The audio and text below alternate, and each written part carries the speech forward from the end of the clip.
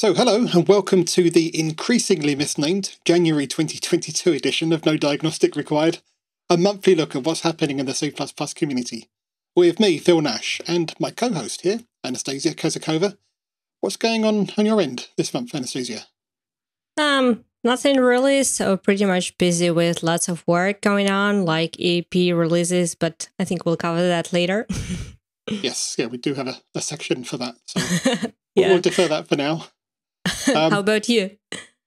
Well, I, I was thinking. Um, I, I, know you've talked a few times before on this show about the um, the podcast you listen to, uh, often while swimming, which which is quite interesting. Uh, I've been getting a bit behind on my podcast listening, but uh, this year I've actually been getting back to the gym a bit more regularly and found that I'm actually caught up on most of my podcasts. So oh, there you go. Cool. If you uh, if you want to to be healthy in your podcast habit, then then hit the gym. That's uh, that's my advice. Yeah, and no, actually reason to do it. I actually saw you also capture a few more episodes of CPP chat, so you're actually fulfilling the promise. yep, it's not just listening to podcasts, but but making them as well. So yeah, we've uh, we've done a couple of episodes just recently. There's there's one it's just about to go live, uh, probably just before this one. So um, yeah, listen to CPP chat as well, of course. Now we did actually promise last month that there were going to be some changes this month, and we didn't just mean that it's going to be even later than usual.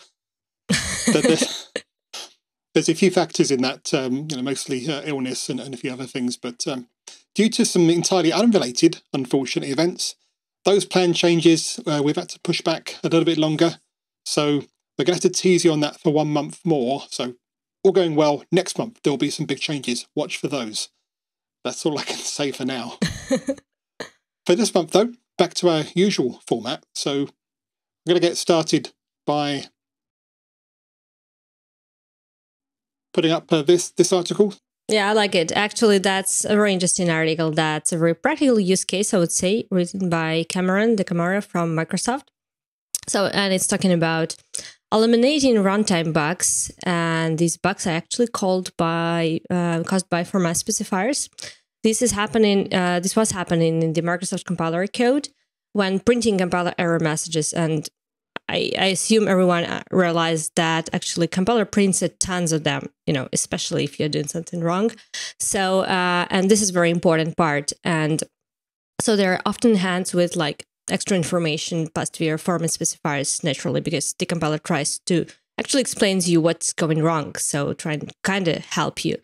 Um, so and the problem was that they are like the format specifiers, they are not type checked in the call. And so users might get actually the final users might get into trouble with the runtime errors if the compiler developers kind of mistakenly pass a wrong argument or don't pass one at all. So that might be an issue. So uh, the Microsoft team they decided to kind of work around that issues, trying to find some solution with the modern C++ features.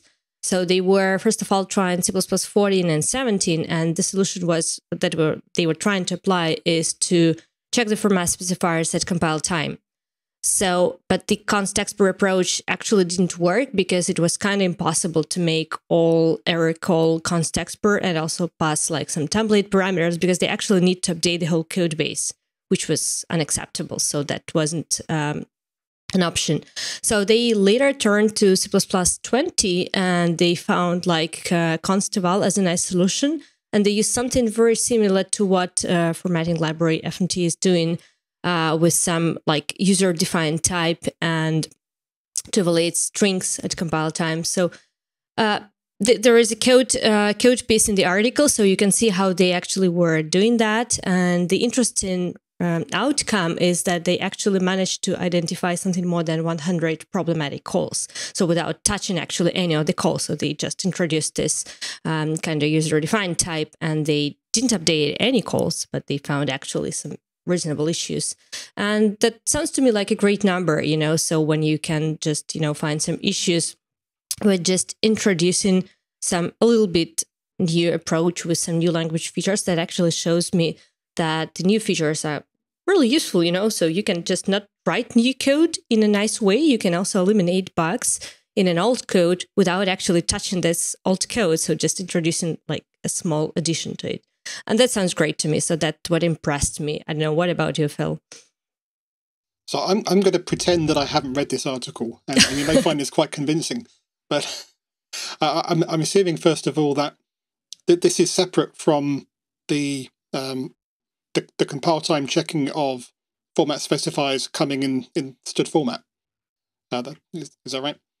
Yeah. Yeah. So this is this is something they've they've done internally to yeah, yeah, that, that was just completely an internal work. So they were mm. just using this format and library as an example of showing what they do because they definitely were not showing the actual compiler code in the article. So just to explain what was the approach. So that's a very nice just explanation. Yeah, yeah. So it's it's still a very uh, sort of leading edge uh, C that they're doing there, which, which is which is nice. But obviously, so many things are moving to uh, compile time, whether it's uh, const expr or const eval, even better in uh, since C++ 20. What one thing that strikes me is that we, we often think of this move, moving stuff to compile time as being more of a performance thing. Obviously, if it's pre-computed, it doesn't have to be mm-hmm. computed at runtime. It's an yeah, obvious true. performance boost. And sometimes that's that's what you wanted. Sometimes that's not that useful in your particular context. But being able to find bugs before you even run something that's uh, always going to be useful, I think. And for me, that's usually the the biggest part of moving stuff to to compile time is just just finding the bugs before the code even compiles. So I think that's yeah, uh, that, that's absolutely true. That's what I call magic. You know, when you just you know take the new standard, introduce some piece of code, and then surprisingly something is starting to happen. And like yeah, with this um, compile time things, that's always the magic which I see in that way. So yeah, so just nice nice actually case so that they described so uh, I, I, mentioned std format and the and you also mentioned the fmt library that it's based on think we've got some news on that as well you want to take us through this one yeah i think uh, we, we can discuss that it's not not like directly related, but since we started talking about the FMT, which was taken by uh, DaCamara, is just an example. Uh, so that's a nice blog post written by Victor Zverovich in his blog, and it's about like uh, migrating to a safer API with a uh, eighth version of FMT. And it just shared a few interesting cases when the migration uh, to the newer version actually eliminated several classes of bugs and made the code safer. So not just several specific issues, but several classes of bugs, which looks nice to me. So and probably the main driver uh, for the change and for the like improvement uh, was the compile time format string checks, so enabled by default now. And that really helped in many cases uh, when the format specifier is not implemented or something is just going wrong. So there is now detected at compile time and it's much this is actually much better definitely than throwing a formatting error like during the runtime. So and that actually eliminated a whole classes of issues and he highlights uh, like a couple of um, useful cases where that helped. Then there was the strict pointer diagnostics which helped the um, example in the article it looked to me a little bit artificial because there was an issue with passing a function pointer um, uh, which was not kept before, and then like yeah, that um, that was kept with a newer version. I, can't say that I'm a really big fan of this example, but it at least shows yeah that the strict pointer diagnostic helped there. And the third one, which is do consider also quite useful, is the no discard used to annotate formatting functions. And it actually helped with the family of cases when the format string was kind of like created but not used. And I think that's often happens when you like you created a few strings, maybe decided to put it to the logs or somewhere, and then completely forgot about it. And now you just can't escape. So because of the no discard. So yeah, there are a few cases uh, like that in the article. So you can like read through them and uh, yeah, see how they were improved. And I think that's the whole article. So that that that's it. And yeah, a nice cat. I have to mention that. Any comments here? Use, you have to use cat too to write the output. I think that's, that's the point. yep. Um, yeah, again, just a, a, more of a general point. We, we, we already talked about the, the move to compile time and eliminating bugs that way, but um, also just the fact that both uh, std format that this is, that was uh, based on the FMT library and FMT itself are continuing to get lots of updates moving forwards. I, I think that's a that's a really good thing because we've we've been stuck for so long with such basic input and output facilities in C that it's, it's nice to see all the attention on it. So I, I don't have anything else specifically to say on this this article. Just just that in general. Mm-hmm. Yeah. Okay, there was uh, another article that uh, that you proposed. This one, compile time, again, code code generation and optimization. Yeah, uh, this one I, from uh, foonathan. Yeah, I'm kind of keen about the compile time this time, and uh, I have to say that uh, Jonathan Block is one of my favorites actually and uh, his blog posts are usually quite detailed and they share some interesting stories. So and i like this one definitely. So it's yeah about a compile time you can guess from the title. So and it's about the situations when you want to specify something in some kind of a dsl language and uh, at compile time and you want to have it executed at compile time as well. So you probably have uh, some cases like that, or at least you're interested in kind of how to do that. So there is an interesting example he's using. So he's using this like brain brainfuck parsing example.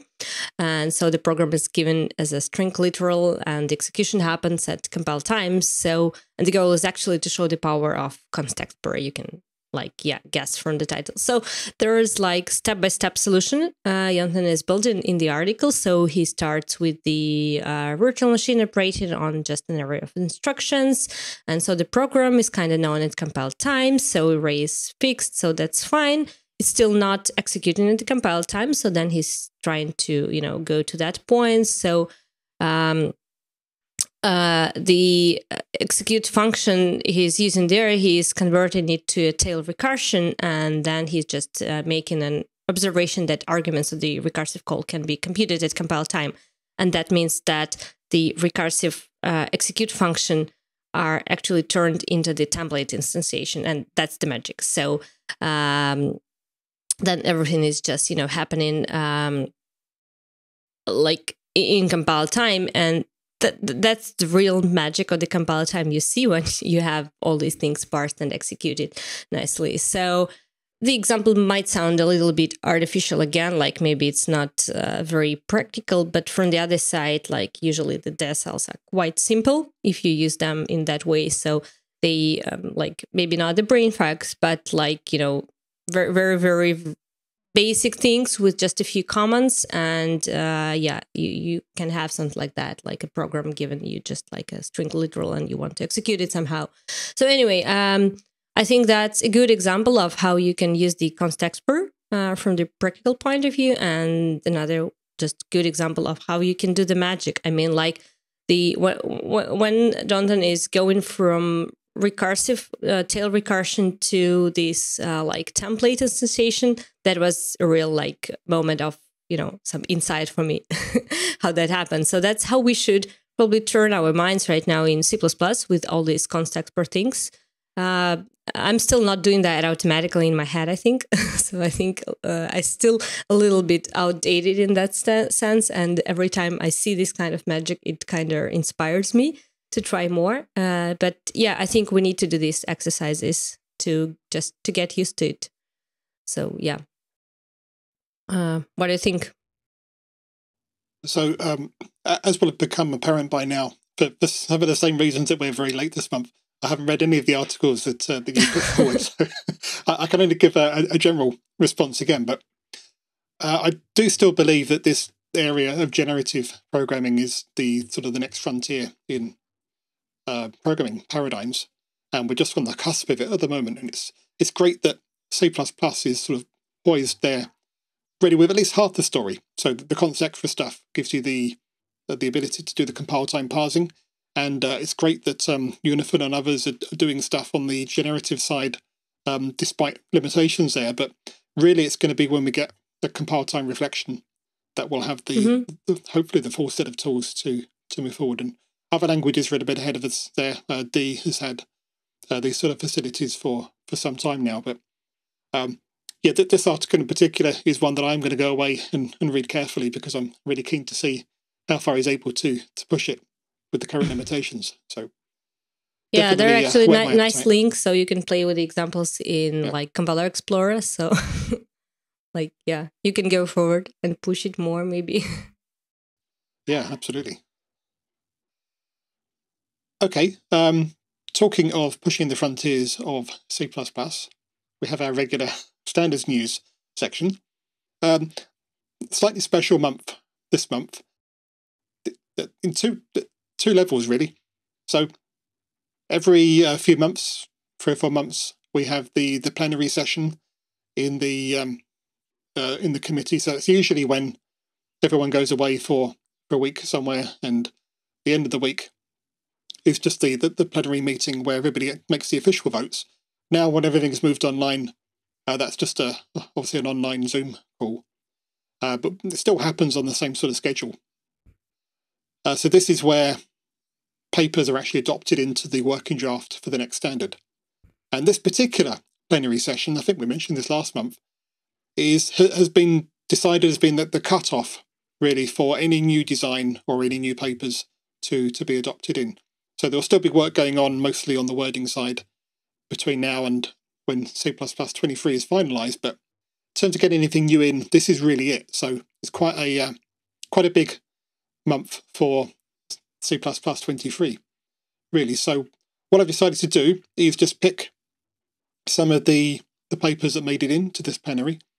And there's actually a uh, page on GitHub. There's a repository that tracks the status of all the, the papers, and you can do a, uh, a filter on there. Uh, I'll, I'll, put the uh, the link in the show notes to show what got accepted at plenary this month. So um, that's what I've been basing this off. Now, on the, the library side, because of course you have the language side and the library side, this month of, I think it was um, 16 papers on the library side, I think five of them were to do with ranges. So quite a big chunk, uh, if you pardon the pun, if you because there's a couple of papers to do with chunking, uh, but a big chunk of them were to do with, with ranges, which really sort of demonstrates how important uh, ranges are to the um, you know the priorities of C++ 23. They've been given quite a lot of uh, emphasis. In fact, there is a this overarching paper, um, which I've uh, I've lost the uh, the paper number for uh, P2214. Again, I'll put a link in the show notes. Uh, a plan for C++ ranges. So this was early on what we were aiming to get into C++ 23 for ranges. Quite a lot there, very ambitious, and we certainly haven't got all of it. But a good chunk of that, again, same pun, um, has actually made it in. Uh, five of them in this month alone. So uh, I wanted to start off by by picking a couple of those. So the first one I want to look at, P2441, the view join with, which uh, which seems simple enough, but if you've used other higher level languages, I mean Python's a great example here. You're probably very familiar with just a, a simple function to take a collection of items and just join them together into into one item. Um, it's often done with strings. So you've got a you know collection of strings, you just want a single string, and then you'll usually be able to provide some sort of delimiter character as well, like a comma, for example. So quick and easy way to just produce a comma separated list of values from a from a collection. Now in C++ 20, we got a view join, which did the first part of that, just the collecting um, a collection together into a single item, but without the delimiter. So for that sort of string processing in particular, it wasn't as useful as it could be. So that's what view join with fixes. Just gives you that ability to provide a, a delimiter, something that goes in between all the things that are being joined together. And obviously more general than strings, but that's the, the obvious application for it. So nice to see that that go in and um, just this uh, trend towards we often think of all these new C++ language features as just making the language more complex, but very often all the complexity is going on under the hood so that we actually get some nice, simple, high-level features like this. Yeah, we can get over our Python envy, at least on, on this score. um, talking of range adapters, because join with is a range adapter, there's a um, uh, another paper about range adapters this is um, P2387 pipe support for user-defined range adapters. So if you've used ranges, you'll know that composing ranges together is, or composing range adapters together things you can do on, on ranges, you usually do with the pipe operator, just the, know, the vertical line. And if you think about it, what it's actually doing is it's effectively transforming a, a function that is called with an argument to argument pipe function. It's as if you're piping the argument into the function. It's just like a nice visual metaphor. And when you're composing many functions together like that, or many range adapters together, uh, it's really useful to do it that way. So many functional languages uh, have a, a, dedicated operator that just works on any function that takes a single argument. And well, you just pipe them together so you can push a piece of data in at the front and you just pipe it through many, many layers of functions. If you write that out in normal functional syntax with um, you know brackets, it can get like very heavily nested brackets. So that's why we do that in, in ranges to make it uh, nice and easy to to read and, and follow. Uh, trouble is that only really worked with the built-in range adapters. So if you provided your own, then you, you couldn't use it, not without a lot of lot of work anyway. So this paper addresses that and gives you the the ability to just with a simple bit of um, uh, extension code to to hook onto a customization point, give your own range adapters or some third party range adapters the ability to use the pipe syntax with ranges. So again, makes everything much uh, nicer and easier to read at the high level because all the all the hard work's gone on under the hood. Yeah, so, I actually definitely agree that uh, the ranges they require some more work and polishing. Um, mm-hmm. I just recently was kind of surprised. I was reading through Jonathan Boccara's post about the equal range when I realized that the C++ 20 is the first standard when you can actually, you know, uh, deal with ranges and return some range and not some you know similar abstraction which is not just the range but just the pointer to the beginning and the end.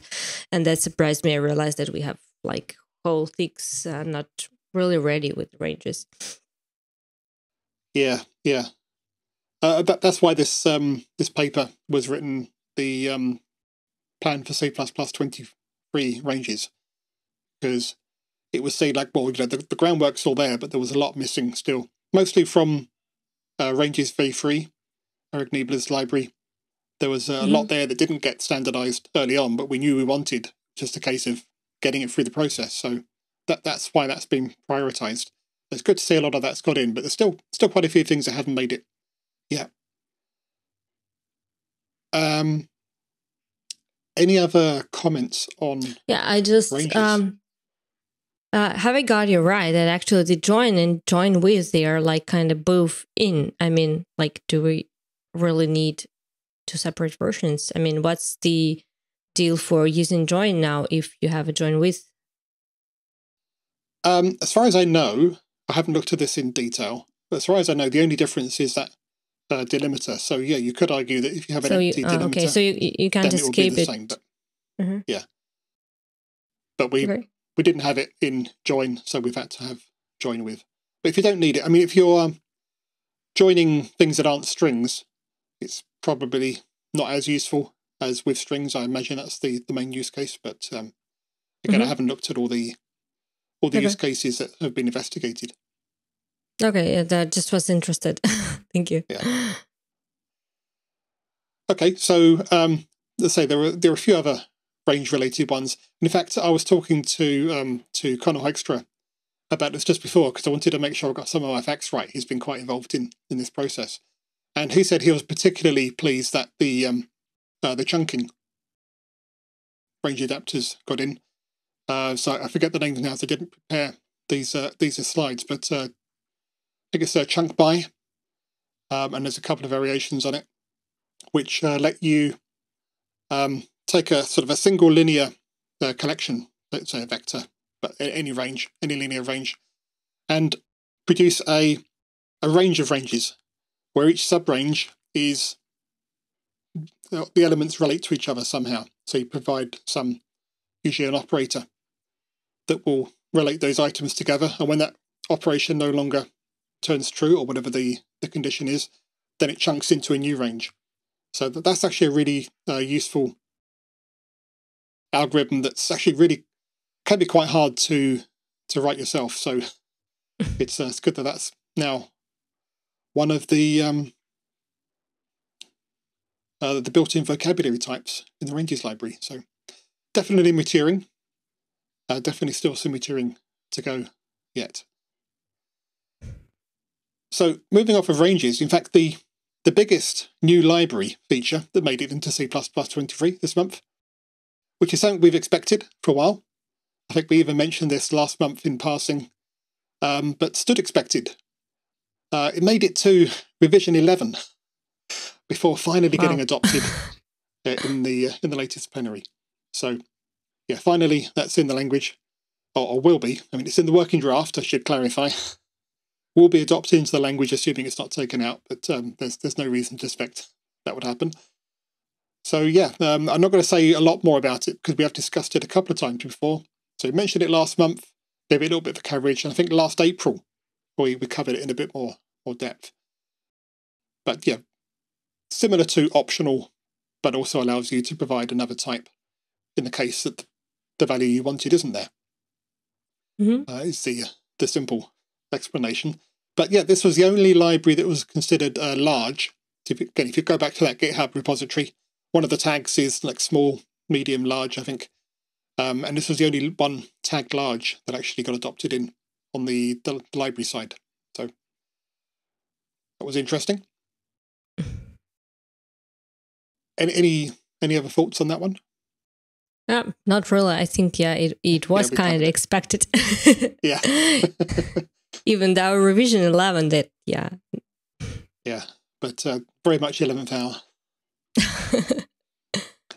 Um, the final one I wanted to to highlight is um, a smaller one, but a really useful one. So we, have had this um, as a compiler extension on for many compilers for some time, but uh, really valuable to have this standardized. And that's just simply a function that marks code as unreachable, which on the face of it seems not that useful, but it's uh, it's one of those things where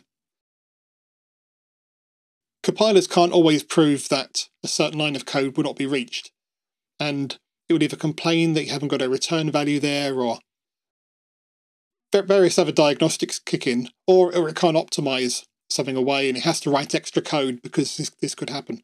So if you know better, and that, that's the caveat, you have to actually know better, um, then you can put this, this line in, um, unreachable. And that's just telling the compiler to assume that this line of code will never be reached and to optimize how wants and to not warn about things that it might otherwise warn about. So, um, let's say that there are built-ins for doing this now. Uh, a, a, common use case, and I think this is one that's actually quoted in the paper, and it's one that I've used in a talk recently, as it happens, is when you've got a, um, a, a switch statement over an enum, and you know that you have exhaustively used all of the enum values, or at least all the enum values that could possibly uh, find their way into this block of code, then it's never going to drop off the end of that switch statement if you've, say, you're returning out of it. That means that just beyond the switch statement, that line would never be reached.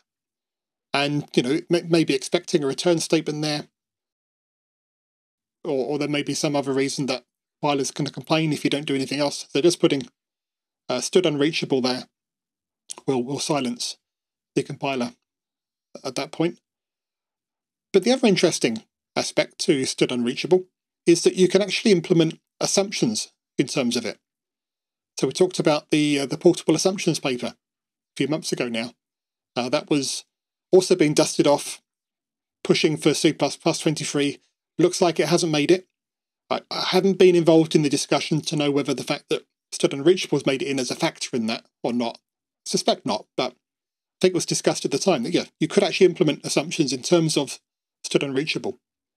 Um, it's not quite as nice. You have to do it with a macro and it's, uh, it's a bit of a workaround. But yeah, if we don't have uh, assume, then we can use std unreachable now in, in some places to still have a, a portable version of assumptions, at least to, to some extent. And uh, I think we'll have to get um, uh, Timo on to, to talk more about that at some point as the author of the uh, the assumptions paper. Yeah, yeah, probably. I'm just like wondering about this um, std unreachable. Like, one thing which is a little bit um, kind of unexpected, maybe to me, is that uh, they turned it Still from unexpected. yeah, kind of being an attribute to being a function, and that's a little bit maybe weird, or I do not understand the reasoning behind that quite well. Probably it's discussed in this what what is revision free, so probably I need to check it out. So Yeah. because that's interesting, I would expect an attribute. I would say not a function. So, but maybe it makes sense. Yeah, if I remember rightly, I think it was cons- they did consider uh, an attribute. Um, can't remember the reasoning, but I would would have thought that an attribute usually um, annotates something else, like a function call or a type or something. Mhm. Whereas this is the line of code. It's saying at this point, this this is the condition that holds. So Okay.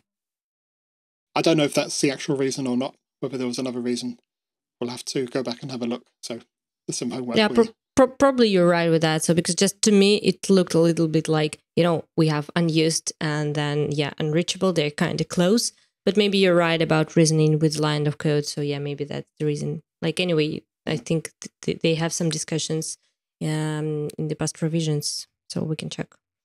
Yeah. Yeah, we'll do. I wouldn't make any assumptions. yeah, just just because kind of unexpected. Yeah. Okay, that's um all I wanted to get through this month. Now, usually I make the caveat, or at least I should, that all the things we talk about in the standards news section, these are things that are being considered for future versions of the language. They're not actually in it now. This time, all of the papers we've talked about, they have been officially voted in to the working draft for C++ 23. So they, they should be in C++ 23, barring some um, something that, that never happens, that we- take stuff out. But I don't expect it for any of these. Uh, and there were, uh, I think, about 18 things that were adopted in this time. So there's a few more to go and have a look at. So have a look at that GitHub repo that I put a link in for. So that takes us on to the to the tools section. And we've got a couple of things to to get through this time. So I'll hand back over to to you, Anastasia, for uh, to have a look at Qt. Yeah, like um, I will try to kind of share the story here. There were actually several blog posts uh, on a Qt blog site.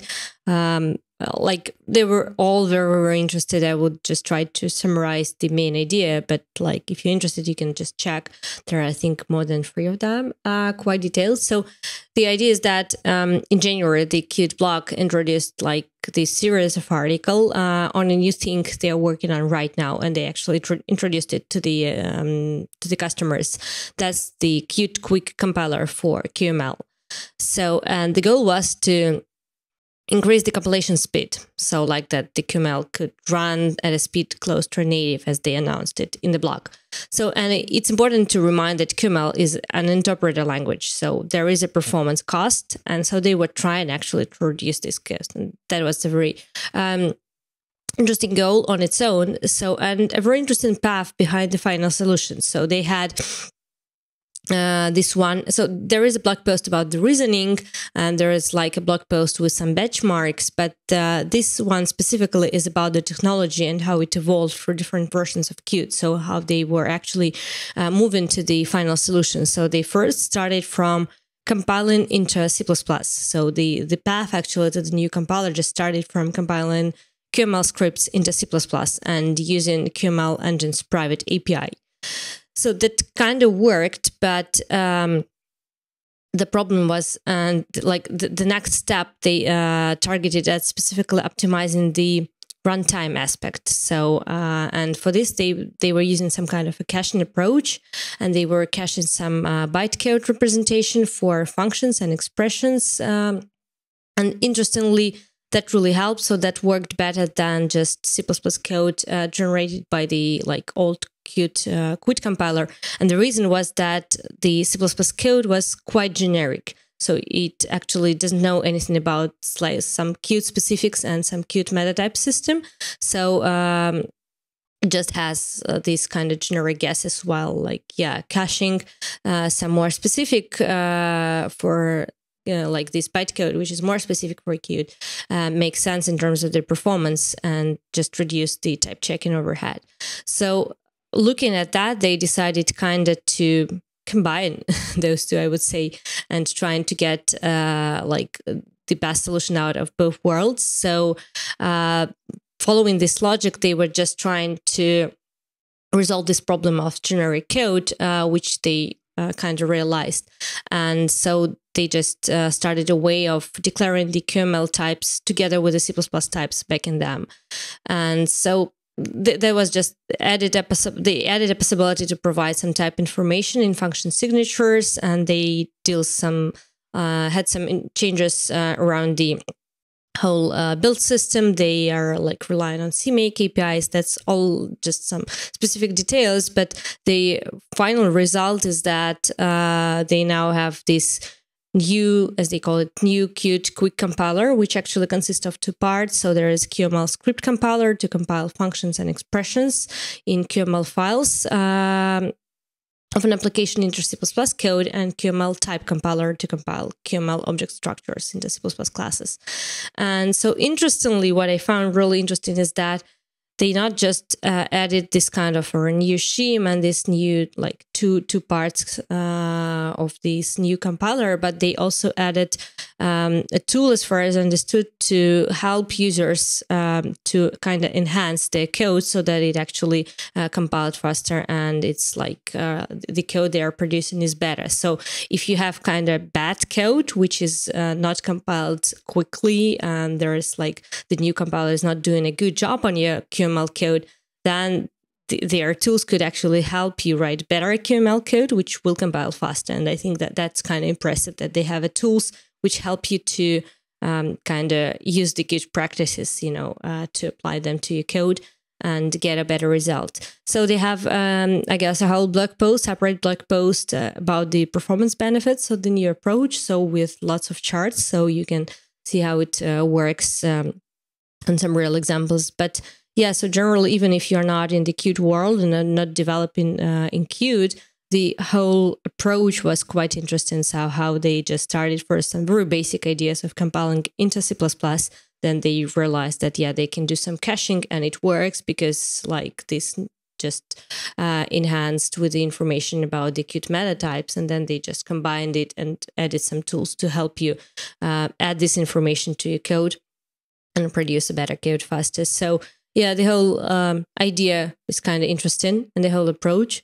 And indeed, there are like just uh, several posts on this way. They are all linked, so if you just start with the, uh, with one, you'll find the others. Um, so yeah, just um, an interesting example of how the technology could evolve and how it could help you to uh, to move to a new version. So yeah, that that's mostly it. Any ideas here? Well, one thing that struck me is that uh, all the the Qt tools they they always try to work in some way to to start them with the letter Q, but in this case it already does. So um, I think that's probably why they chose the the name Quick Compiler because it already starts with the letter Q. Although presumably there's a quicker compiler that, that does the, uh, the the checking to make sure that you're writing things that work quickly enough. But I haven't yeah. looked into that. yeah. Um, Moving on, then, I know there's some some JetBrains news on the EAP front. Talk, talk, us through that. Yeah, I mentioned that in the, in the very beginning that I was quite busy with uh, all the things um, happening here. So, you know, uh, January was the time when we were starting all our EAP programs and preparing for the new releases, first releases uh, in 2022, which are going to happen uh, somewhere around March. So uh, I will talk about like some C++ tools we have in the pockets. So, like first of all, uh, uh, I think I mentioned that before that in like our tools, this first release, we decided to focus on quality improvements and bug fixing. So that mostly will be it. So with uh, not that many like new features uh, coming in, so just only those which we're still polishing from some previous release cycles and just want to deliver them finally. Um, so if we talk about the CLion, so the team is polishing the new remote development workflow. So we introduced support for Space dev environments, which means there is some kind of a warm up now available. uh, which really helps in terms of that you can not just you know develop remotely with the thin client, but also kind of reuse these dev environments, share this knowledge, and share these um, environments inside the team, and that's really looks like a productivity booster. Um, then we actually polished the toolchains and CMake profile settings uh, to make them just more flexible to fix some uh, issues uh, which our users uh, pointed us to.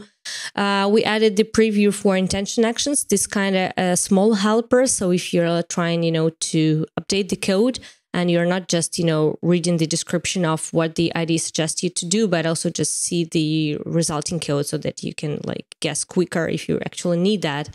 Um, we also reworked the UI for Clang-Tidy settings. So if you work with the Clang-Tidy settings in the IDE there's there's now like a nice UI with a tree, which you can use the speed search to search for, like turn the settings on and off.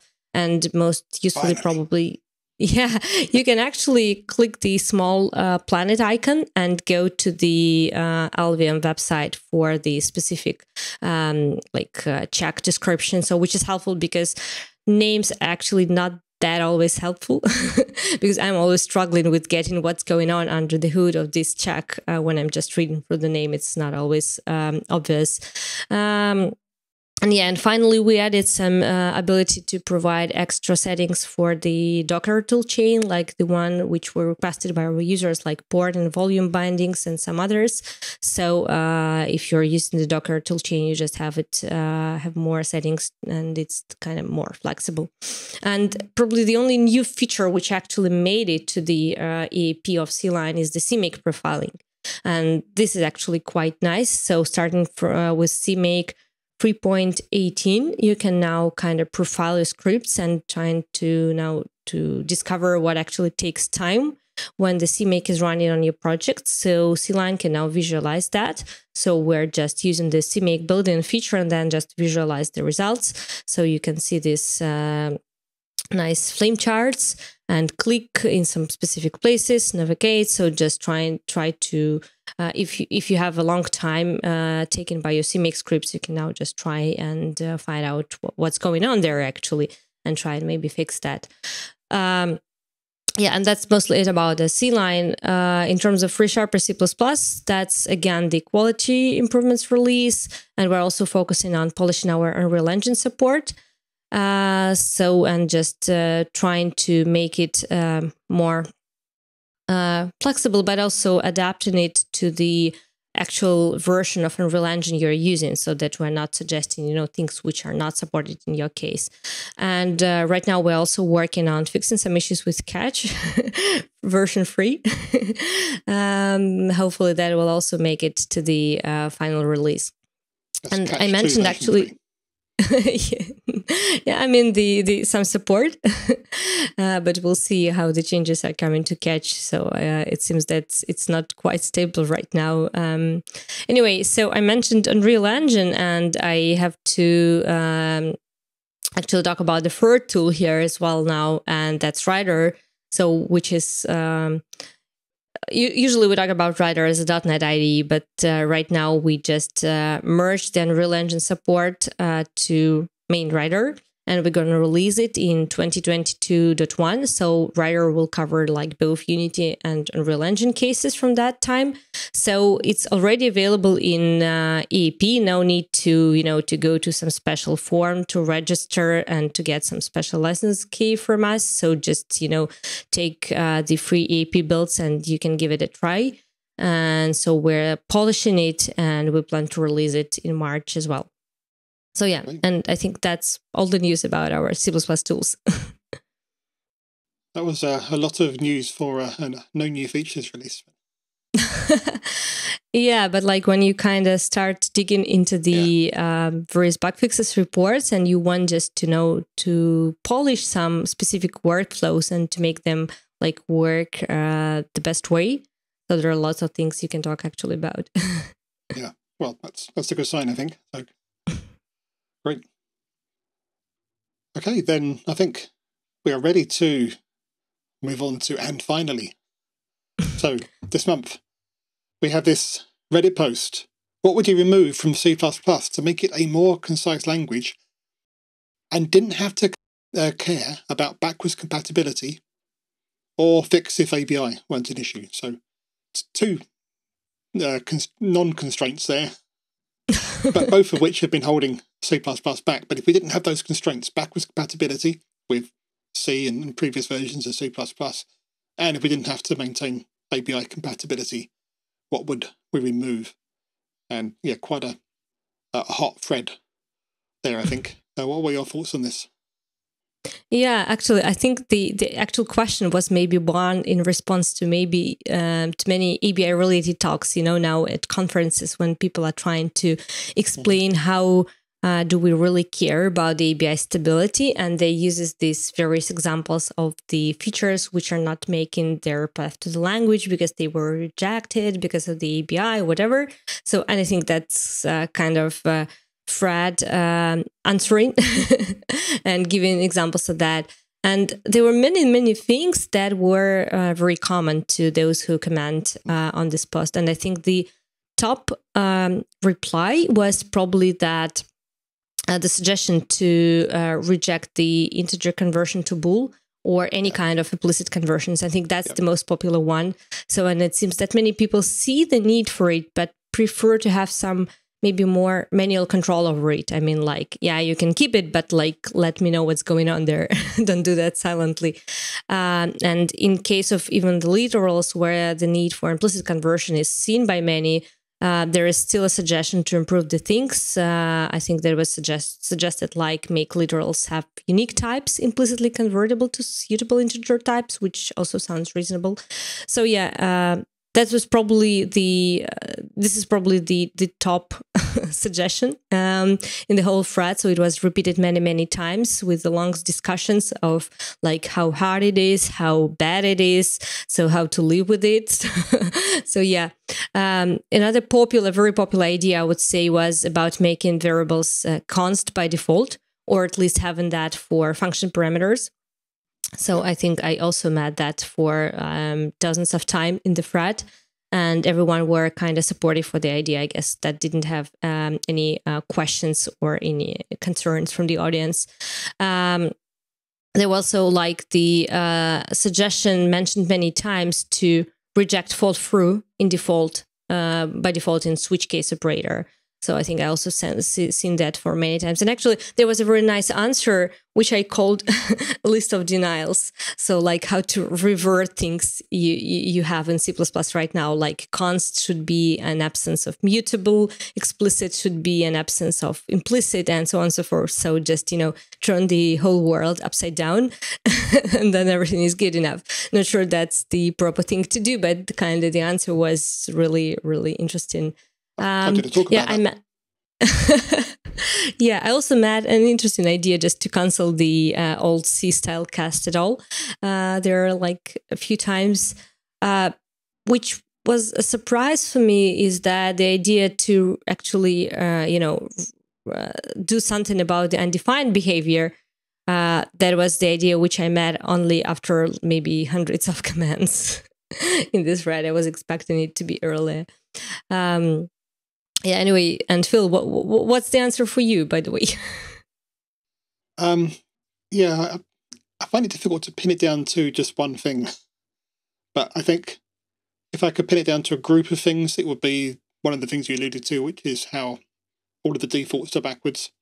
And mm-hmm. we flip things around so const is default and noexcept is default and that sort of thing then we'd be in a, a better place. But unfortunately that that's the sort of thing that we're unlikely to see addressed in the language because it's that's so much of a breaking change. Whereas some it's of the other things, different language. well, yeah, exactly. And uh, I'm surprised that Rust wasn't mentioned more often as a. I well, guess this, it was. This is what Rust it, is. It was. it was mentioned once or twice, but yeah. um, but some of the things like the the switch fall through was probably a good example of one where okay, we're not going to change how switches work at this point uh, with regards to fall through, but we are working on a new feature that could actually do everything that Switch does plus more, which is the the new pattern matching syntax. Mm-hmm. And you could say, well, once we've got that, never use a switch statement again. Just write pattern matches, and that will have, you know, uh, built in our, our, current best practice of you know no fall through and, and, various other things like that. So although we'll still have switch in the language, if you're not writing new switch code, you shouldn't fall into the, those same traps. So in some ways, adding to the language does still make it simpler, even if technically it doesn't. I think that there's some hope in, in some some regards, at least. Yeah, yeah, and actually, in that you know list of uh, denials, as they called it, uh, the uh, there was one thing about the constexpr as well. Like constexpr should be the absence of the runtime. so this one I specifically liked. Um, so probably I'm voting for that and for the yeah. implicit conversions. The, the other thing which uh, you, you did touch on, uh, undefined behavior. Uh, uh, yeah, I was also surprised that that didn't come up until quite late. But it's almost um, it's almost like why would you use C if you weren't you know, not not only prepared to deal with undefined behavior, but that wasn't actually part of the reason why you were using C I, I know there are reasons in general that mm-hmm. people are using it that are not to do with that, but the reason for the language's existence um, in in the modern world of languages is largely resolves around its ability to expose you to and in some cases protect you from undefined behavior. So if we didn't, if we completely got rid of it, we would lose one of the main advantages of, of C++ in the first place, I think. I mean, that's one of the things that's not so well understood when it comes to these sort of discussions.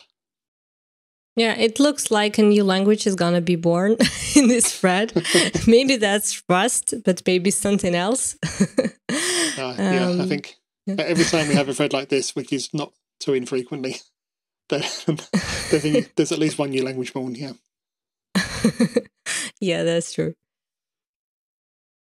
Okay, well, that um, brings us to the end of, of yet another episode. And as I say, next month, hopefully, all going well, expect to see some changes. Uh, one of which will be hopefully that we'll, we'll run a little bit earlier. We're going to try, try and stick to the beginning of the month, or maybe even right at the very end of, of this month. We'll, we'll see how that goes. But um, yeah, certainly it's got a little bit too too far into February for the uh, for the January edition this time. So we will see you very soon. All going well. yeah, hopefully. see you soon. See you Bye.